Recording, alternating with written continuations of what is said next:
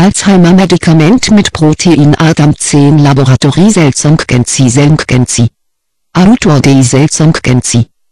Es wurde herausgefunden, dass Adam-10 das Protein APP, Amyloid-Precursor-Protein, so zerschneidet, dass kein Amyloid daraus entsteht. 1. SS-Amyloid spielt wiederum eine zentrale Rolle bei der Bildung der für Alzheimer charakteristischen Plaques. Adam-10 kann also möglicherweise die Basis für einen neuen Therapieansatz bei Alzheimer darstellen. Adam-10 ist eine sogenannte Sekretase und somit ein Protein, das wie eine molekulare Schere funktioniert. Die deutschen Wissenschaftler haben nun mit Hilfe der RNA-Interferenz festgestellt, dass nur Adam-10 die Bildung von Amyloid verhindern kann, nicht jedoch andere Proteinscheren aus der Adam-Familie wie beispielsweise Adam-9 oder Adam-17 mittels RNA-Interferenz wurden in den aktuellen Experimenten diejenigen Gene, die Proteinscheren kodieren, gezielt stillgelegt und damit die anschließende Proteinbildung unterbunden. Außerdem wurden für diese Forschungsarbeiten spezifische Antikörper entwickelt, die verschiedene APP-Spaltprodukte im Gehirn erkennen, und mit denen sich eventuell auch neue Möglichkeiten für eine frühe Diagnose der Erkrankung erschließen lassen. Noch ist ungeklärt, ob die Amyloid-Plaques im Gehirn von Alzheimer-Patienten tatsächlich die Ursache für die Entstehung von Alzheimer oder nur eine Begleiterscheinung der Erkrankung sind.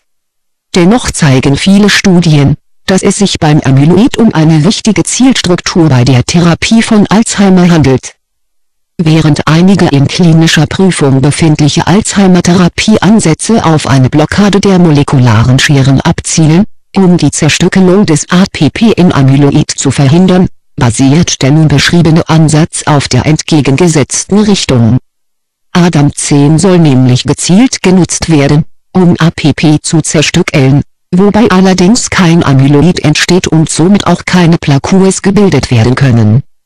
Hierzu passt auch die Erkenntnis, dass Adam-10 bei vielen Alzheimer-Patienten weniger aktiv ist Daher könnte dieser neue Ansatz vielversprechend sein, über eine Stimulierung von Adam-10 die Bildung von Alzheimer-Plaques und damit hoffentlich auch die Ausprägung der klinischen Merkmale zu verhindern. Hierzu zählen typischerweise Störungen des Gedächtnisses und Denkens, der Orientierungsfähigkeit sowie der Auffassungsgabe. Alzheimer ist eine bislang unheilbare Krankheit Derzeit geht man von bis zu 800.000 Alzheimer-Erkrankten in Deutschland aus. 2. Jedes Jahr erkranken in etwa 200.000 Menschen neu. Die durchschnittliche Überlebensdauer beträgt vom ersten Auftreten der Krankheitszeichen an ca. 8 bis 9 Jahre. Vom Zeitpunkt der klinischen Diagnose sind es im Schnitt noch etwa 6 Jahre. Ziel vieler aktueller Forschungs- und Entwicklungsaktivitäten ist es, neue Ansatzpunkte für eine zielgerichtete Therapie zu erproben. Hierzu zählen auch verschiedene Biopharmazeutika, also gentechnisch hergestellte Arzneimittel wie beispielsweise Antikörper, die die Strukturen des Amyloids erkennen und somit die Ausbildung der Amyloid-Plaques verhindern sollen. Adam-10 könnte möglicherweise das Armamentarium im Kampf gegen Alzheimer erweitern vor der ersten Anwendung am Menschen im Rahmen einer klinischen Studie sind allerdings noch weitere Forschungsaktivitäten erforderlich, um die Bedeutung von Adam-10 im Detail zu charakterisieren. Die medizinische Biotechnologie erweist sich auch mit Blick auf die immer älter werdende Bevölkerung einmal mehr als unverzichtbar, um mit dazu beizutragen, Antworten auf die medizinischen Herausforderungen der Zukunft zu erarbeiten Adam-10-Protein verhindert Bildung von Beta-Amyloid. Beta-Amyloid kommt im Gehirn in den für Alzheimer typischen Plaques vor.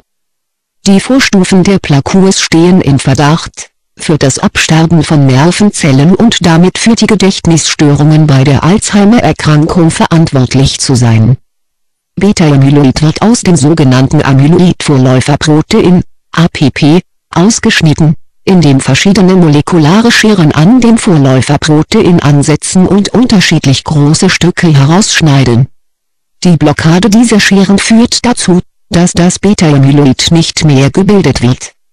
Die Forscher haben jetzt eine molekulare Schere gefunden, eine sogenannte Alpersekretase, die das Amyloid-Vorläuferprotein, APP, ohne die Bildung von Beta-Amyloid spaltet. Bisher kamen dafür drei verschiedene Scheren in Frage. Die Wissenschaftler konnten nun zeigen, dass alleine Adam-10 für die spezifische Spaltung verantwortlich ist. Dazu entwickelten sie hochspezifische Antikörper, die verschiedene Spaltprodukte des Vorläuferproteins in Hirnzellen von Mäusen und in menschlicher Zellkultur erkennen können.